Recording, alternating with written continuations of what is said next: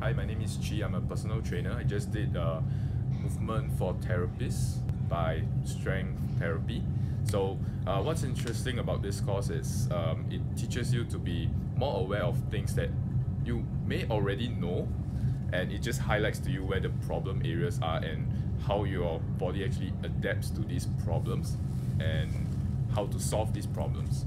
So, um, we did a lot of um, interesting things like uh, the brain stuff, which which solve actually most of the physical problems. So that that is how, um, as a personal trainer, we can see that um, the brain is actually very tied into the physical body. But most of the time, we, we, we always imagine it as separate components.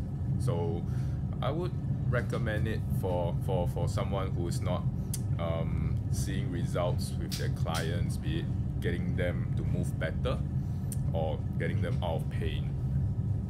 Yeah.